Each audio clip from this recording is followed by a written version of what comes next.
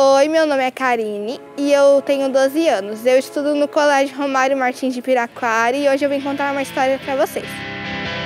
Quando eu era um pouquinho menor, eu estudava num colégio onde tinha gente maior, né? Tinha um pessoal, só que era da mesma sala. Assim, eu fui crescendo, eles começaram a fazer umas piadas e eu não gostava muito. E quando eu queria cantar, eles falavam que eu não sabia cantar, tal, tal.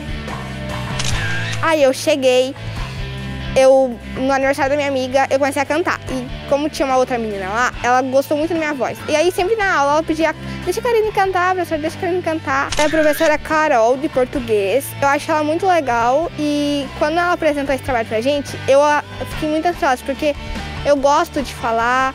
Esse negócio de falar pra mim, eu acho uma coisa muito legal. Eu queria muito fazer com as minhas amigas, só que aí, como nesse tempo de corona, eu não poderia. Aí eu falei assim, ou eu pego entrevista ou eu pego diário. Como eu né, queria ser cantora e eu queria muito ser entrevistada um dia. Escolhi entrevista, só que eu falei, meu Deus, como é que eu vou fazer pra entrevistar outra pessoa, sendo que nesse tempo de corona eu não posso?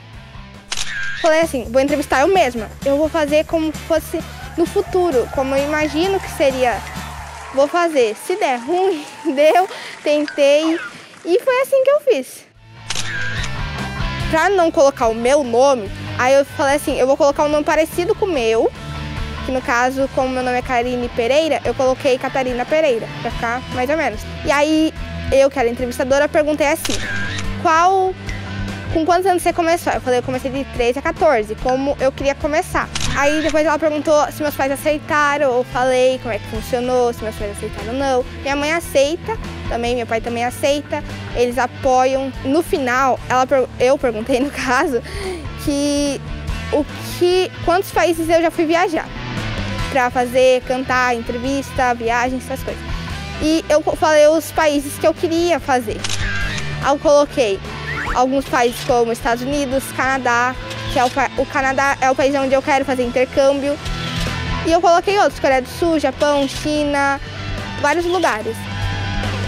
Foi um sacrifício porque eu tinha que é, colocar a roupa da entrevistadora e colocar a roupa de quem ia ser entrevistado. Minha amiga falou, eu posso editar para você, aí ela editou. Foi difícil, mas aí deu tudo certo, a professora agradeceu. E eu gostei muito. Eu quero levar isso a sério. Eu estou também, eu nessa idade já estou procurando sim uma faculdade. Eu estou vendo se tem é, possibilidade de estudar canto fora do Brasil, né? No caso é onde eu quero ir para o Canadá. Eu estou tentando juntar dinheiro para fazer o intercâmbio. Eu estou pesquisando algumas coisas sobre o Canadá, como é que é lá, como é que funciona isso. Ô Karine no futuro, deixa eu te deixar um recado. Não desista dos seus sonhos, que eu sei que no futuro ela vai ser muito boa, deve ter aprendido muita coisa, né, com a vida dela. Ela deve ter superado tudo e eu sei que se tornou uma mulher muito linda. Essa é a história que eu queria deixar para vocês e te vejo no futuro. Tchau, tchau. Beijos.